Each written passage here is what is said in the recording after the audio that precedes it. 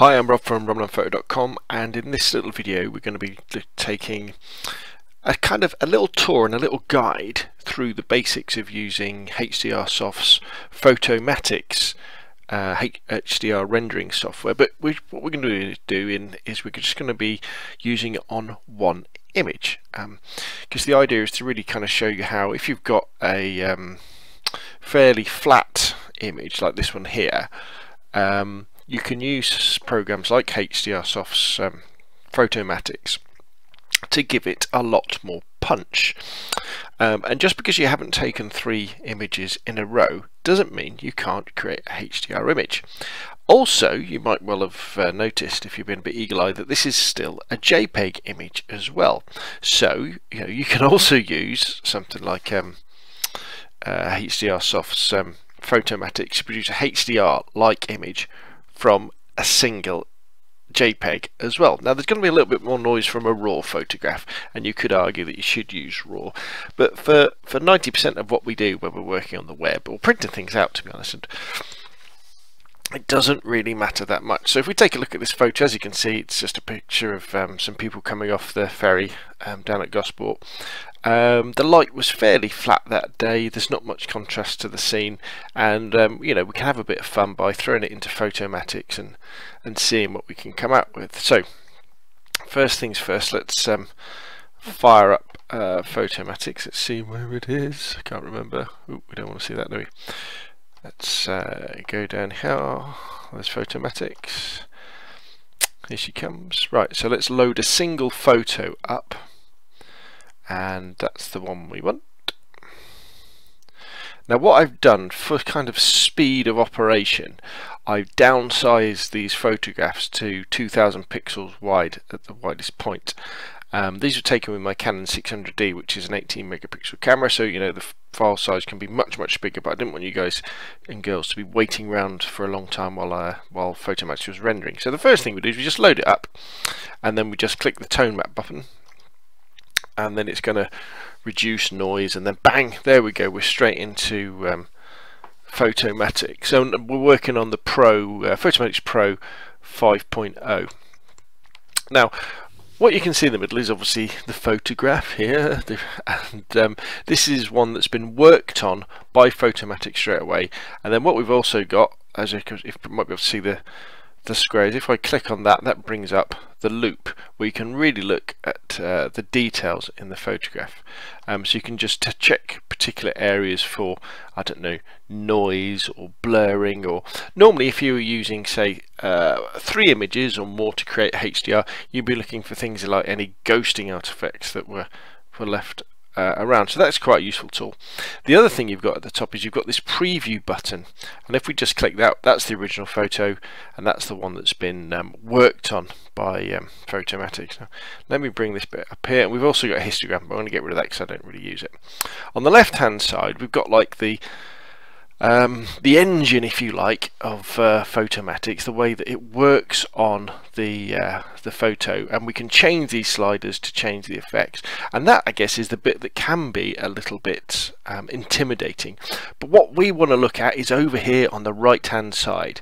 These are the presets. This is where the real easy magic happens, and what we can do is I've just clicked on the top one I'm just going to use my arrow buttons just to go down and I've gone from default to balance. As you can see the look of the picture has changed a little bit and then if we go back to the preview turn it off that's what the photo did look like. That's what it looks like now. So it still looks very very natural um, but we've got a little bit more details appearing you know we can see these people. Always remember that these images we are creating with uh, things like Photomatix they're only a starting point. The idea is we get to the, the get get the photo to a point where we can save it out as something like a TIFF um, and then we're going to work on it more on Photoshop or in Picasa or whichever photo editing software you want to. So don't worry about the imperfections like it not being quite straight or you want to do a crop and, and things like that. Don't, don't worry about that within Photomatix. Now, obviously, we can work through the, uh, the, the presets on the right hand side, but if you do get to a preset and you think, "Gosh, that's that's pretty good," that I, I like that, um, what you can do is you can then change on the left hand side some of the things. So we can say, well, let's see what it looks like if we make it a little bit stronger. And this will alter the local contrast. Let's see what happens. Oh, well, yeah. Or how about a lot less? I don't like that. Now, you might have noticed here, up here, we've got something that says contrast optimizer on the top left hand side. Now basically these are the different ways that it can work on the image and depending on which preset we go for, they'll be using either the contrast optimizer, the detail enhancer or the tone compressor, but don't worry about it too much. The main thing is just to work through these presets on the right hand side to find ones you want. So there's one that says photographic, not particularly good, a little bit dark at the bottom painterly. This is kind of starting to look a little bit like a, um, a, a HDR image. It's quite strong, and in fact, if you look where these poles are, there's a little bit of haloing going on around them. Now, haloing is where you tend to have a, a dark image, um, say this pole against the sky, and the level of um, local contrast adjustment leads to a halo. But what you can do is you can play around with the strength. So we say, well, there's a little bit of haloing there. Let's knock it back, and that will reduce the haloing. We may well think, well, actually, that's a good starting point. And again, let's go back to the preview, turn it off. That's what we did have. That's what we've got. So straight away, we've got a photo that's got a lot more detail, and we can see a lot more what's going on. We could use the loupe, if we like, to, to dig in and just check that there's not like super amounts of noise or anything like that appearing, especially in things like the sky. Yeah, quite a lot of noise, but again, it looks okay when, it, when it's this sort of distance. And if we wanted to, we could change things. You know, we could play around with the detail contrast, and then we could change around the the lighting adjustments. Um, but what you tend to find is you, will probably see something and think, well, actually, you know, that isn't how I want the final image to look, because maybe the colour is a little bit too much. But you may well think, actually, this is a real good starting point for a black and white image. So that's Painterly. Let's go on to Painterly 2 preset. Again, getting pretty strong here. We might want to knock that back, but again, it might be a good starting point for something. Painterly 3, we're getting even more into almost looks almost like a watercolour. Painterly 4, more extreme vibrant. Again, a, a slight you know, difference, but we might have seen you know, we, are picking up an awful lot of noise here in people, so that wouldn't be suitable for this particular image. Because remember, this is a single JPEG we're working on. Um, see what we've got next. Enhanced, again, you know, quite subtle. If we click the preview off, that's what it was, that's what it is. So we've got a lot more detail happening down here. We can see a lot more stuff that's going on. Enhanced 2, a little bit darker Deep, no, don't like that. Surreal, very strong. Grunge, again, these are sometimes the, the the the real HDR photos you sometimes see knocking around. Grunge 2, no, don't like that.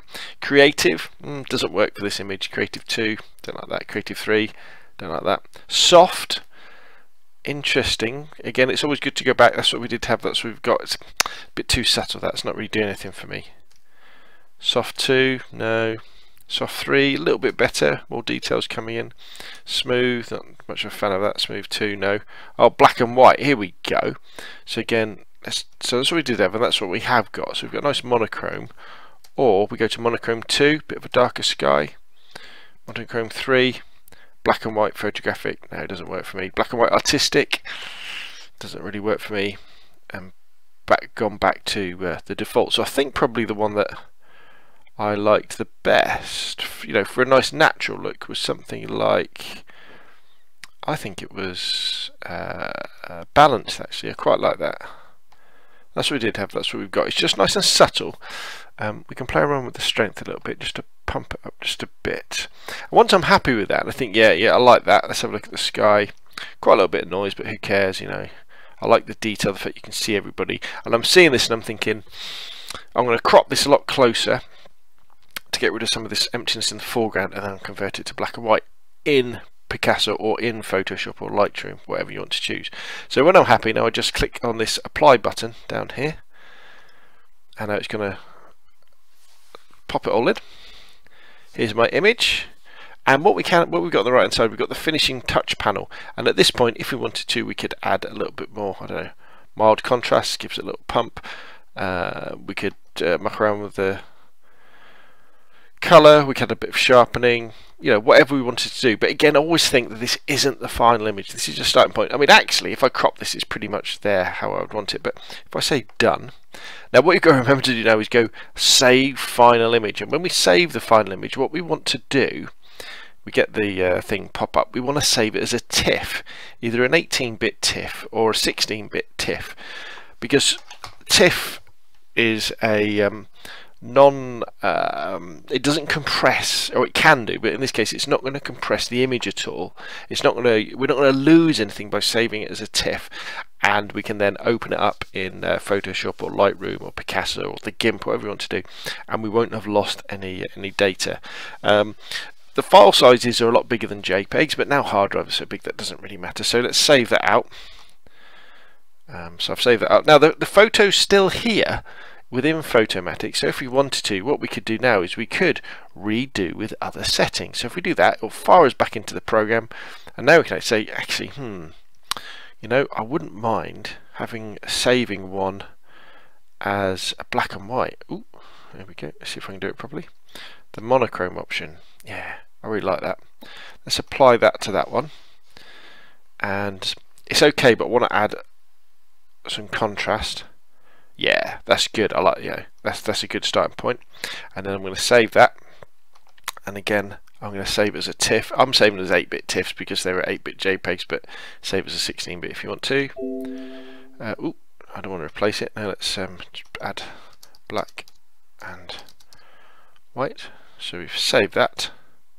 We've saved it out and then you know we can now open that in um, Picasa or Photoshop or whatever your uh, photo editing software of choice is. So that's a really quick introduction to Photomatix, just showing you uh, Photomatix 5, that is just showing you again. Go in, don't worry too much about all the controls on the left hand side, you know, play with the, the presets on the right hand side and then save them in lots of different things. Um, this is the website for HDR Soft and if you go to download, remember you can if I'm yeah there's a free trial. So download it and have a play with it first. I mean the license costs what's that $99 which is I think that's uh, Photomatix Pro 5 standalone program is 60 quid uh, 72 pounds including VAT uh, it sounds like a lot of money doesn't it? But to be honest you'll get so much out of it that um, you know think how much you would spend on a filter for the front of your lens a really good filter you know really good polarizing filter um, I'm not saying that Photomatix does the same job as a polarizer, but it can enhance your photos in a similar way. So there we go. There's my little guide to using Photomatix Pro 5. Um, I hope that was helpful. Remember, you can email me. My email is scalespeeder at gmail.com or please visit my website at uh, www.robnunnphoto.com. That's it from me and um, thanks for watching.